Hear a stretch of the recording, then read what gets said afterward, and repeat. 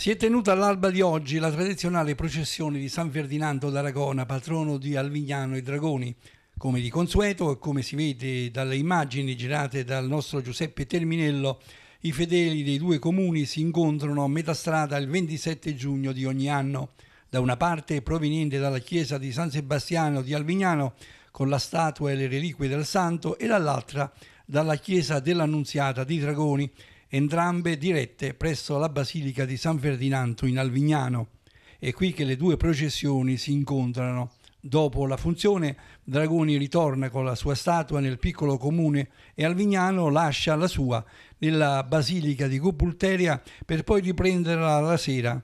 Presenti il sindaco di Dragoni Antonella Daloia e il vice sindaco di Alvignano Santino Altieri, entrambi con la fascia tricolore.